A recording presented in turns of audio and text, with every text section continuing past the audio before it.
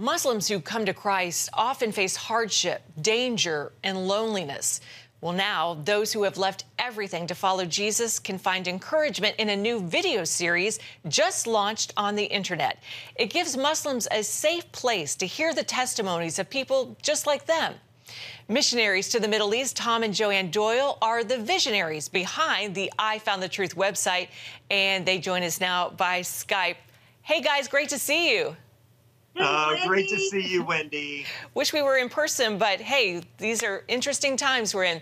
Well, let me ask you this. What will people find if they go to ifoundthetruth.com or I Found the Truth on Facebook?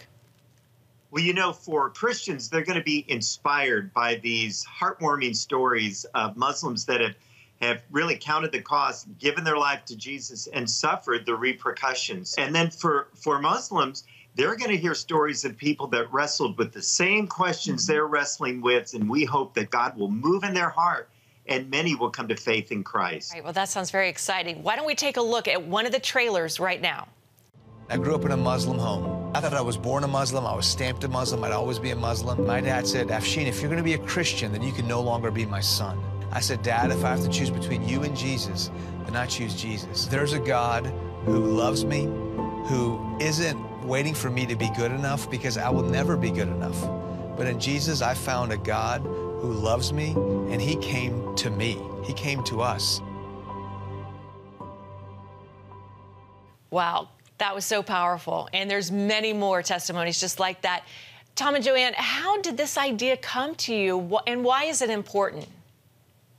Well, this is actually something that we have been praying for for over a decade. You know, we would go in all these different Middle East countries, Jordan and Syria and Lebanon, and just think there are so many Muslims out there that need to know the truth of who Jesus is, but there's not a lot of safe places for them to find this information. And then we started hearing so many of these stories of how former Muslims came to faith in Christ. And we thought, gosh, we need to get these stories out. No and oh my gosh, as you saw from that little trailer, mm. they are powerful stories. How did you get them to go on camera? Because, like you said, I mean, it can still be very dangerous for a Muslim to go public with their faith. You know, the first five that we've uh, videoed that you'll see on I Found the Truth, all were called by God to do it. But mm. you know what He calls you to, He equips you for.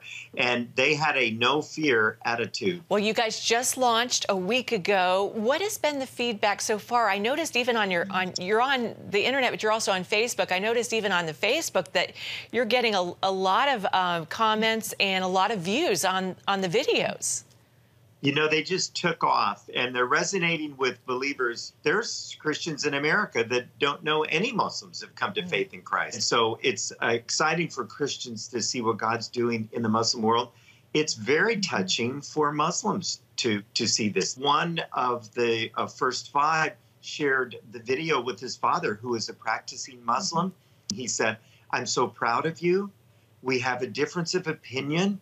But I, I love your heart and your testimony, and I will pass your video on to my friends. Wow. Wow. wow. What do you hope, guys, will be the fruit from this website? I know it's brand new, but when, you know, a year from now, what are you hoping will will have happened? We're praying that millions of Muslims start a conversation about Jesus, end up coming to the foot of the cross, giving their lives to Jesus. Mm-hmm. One day, Wendy, we pray we run into millions of mm, Muslims in heaven that found Jesus. Uh, through these videos. The fastest growing church per capita in the world right now is in the Middle mm-hmm. East.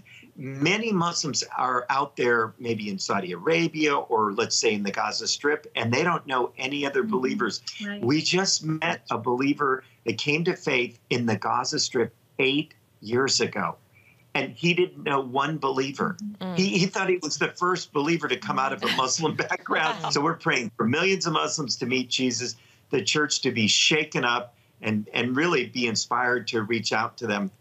And for those, I guess we'd call them Lone Ranger Muslims, they're out there with no fellowship, that they'll realize they have a big family that loves them. They sure do. And they've got a mama and papa right there Tom and Joanne. Well, the website is called I Found the Truth. It's also on Facebook.